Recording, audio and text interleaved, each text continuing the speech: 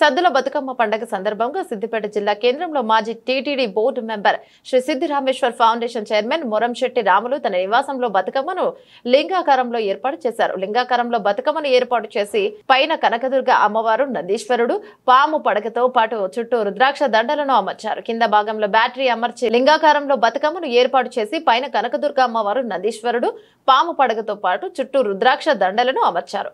కింద భాగంలో బ్యాటరీ అమర్చి రంగురంగుల లైటింగ్ను ఏర్పాటు చేశారు. కాగా పట్టణంలో ఈ బతుకమ్మ ప్రత్యేక ఆకర్షణగా నిలిచింది.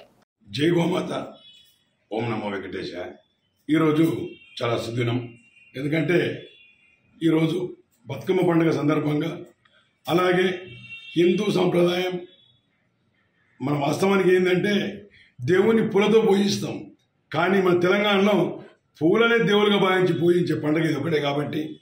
అలాగే ఎందుకంటే రామరాజ్యం ఎలాగ ఉండాలంటే గోవులు పోషింపబడి ఉన్నాయి కాబట్టి ఈరోజు గోమాతకు సేవ చేస్తే భూమాత రక్షిస్తుందని ఉద్దేశంతో ఇప్పుడు గోమాత బాగుంటేనే భూమాతల పుట్టే ఈ పూలు కానీ తంగేడి పూలు కానీ ప్రతి ఒక్క పూలు భూమాత నుంచి వస్తాయి కాబట్టి గోమాతకు సేవ చేస్తే భూమాత రక్షిస్తుందనే స్లోగన్తో భూమాత బతుకమ్మను మనకు వరంగా ప్రసాదించిందనే సదుద్దేశంతో ఈరోజు లింగాకారంతో సృష్టికి ఈశ్వరుడే ప్రథమం కాబట్టి ఆ ఈశ్వరుణ్ణి అలాగే అమ్మవారిని త్రిమూర్తులను మించింది త్రిశక్తి కాబట్టి ఈశ్వరుని తీసుకోవడం కారణం ఏంటి అంటే గోవులు రక్షింపబడాలనే ఉద్దేశంతో ఈరోజు నందీశ్వరం కూడా పెట్టడం జరిగింది.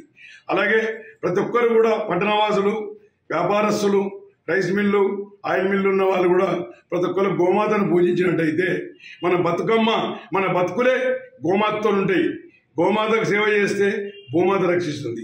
ఈ బతుకమ్మ రావాలి అంటే భూమి భూమి బాగుంటేనే ప్రకృతి పులకరిస్తేనే ఈ పండుగలు ఈ పబ్బాలు జరుగుతాయి కాబట్టి ప్రతి ఒక్కరి సందర్భం ఈ సందర్భం అందరికి ఇవ్వాల్సింది చేసేదంటే అందరికీ కూడా బతుకమ్మ దసరా శుభాకాంక్షలు తెలుపుకుంటూ ప్రతి ఒక్కరు అపార్ట్మెంట్లో కానీ ఆయిల్ మిల్లు రైస్ మిల్లు ఫార్మిల్లలో కానీ ప్రతి ఒక్కరు గోమాతను పూజించాలి సేవించాలి.